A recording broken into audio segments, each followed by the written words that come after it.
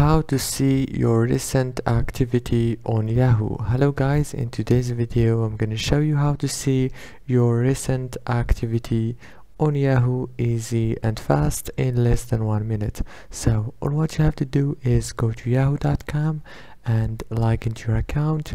Now this is the email homepage as you can see.